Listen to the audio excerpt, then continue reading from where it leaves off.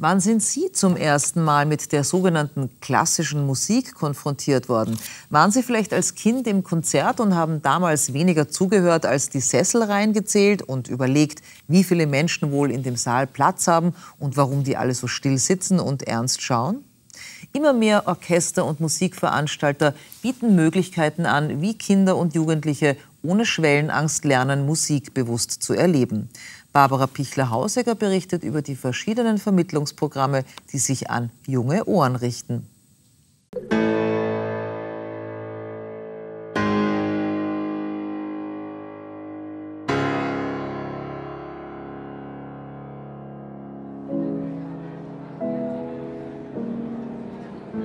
Musik entsteht durch schwingende Saiten, schwingende Luftsäulen, schwingende Membrane.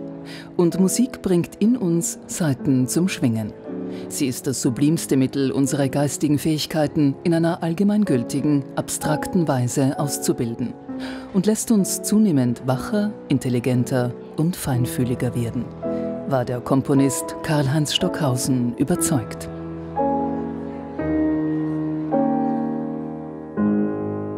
Wir müssen die Musik aus dem Elfenbeinturm wegnehmen. Das ist eigentlich für mich äh, die, die Hauptidee, der Hauptgrund. Mit dem Projekt Password Classic setzen die Wiener Philharmoniker schon jetzt in den Schulen an. AHS-Schülerinnen und Schüler haben sich im Musikunterricht mit Werken von Pierre Boulez vertraut gemacht. In einführenden Veranstaltungen erklären sie dem Publikum die Stücke, die im anschließenden Konzert zu hören sein werden. Lernende werden so selbst zu Vermittlern. Jetzt kommen noch die Solokantilene des Cellos in Ellipsen dargestellt und die Pizzicati der Streicher in hellen weißen Formen. Außerdem kommt noch etwas Besonderes hinzu.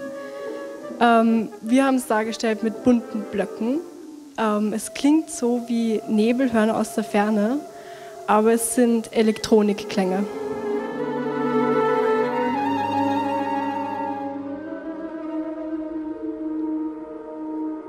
Ich habe meinen Horizont erweitert, kenne was Neues, hatte keine Ahnung von Pierre Boulez davor.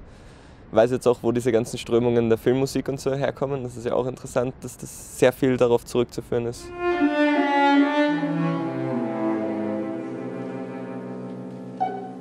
Früher war es überhaupt nicht, aber klassische Musik so weit weg von mir. Jetzt ist es schon näher und ich überlege halt schon auch vom Popularen wegzugehen und neue Sachen zu probieren.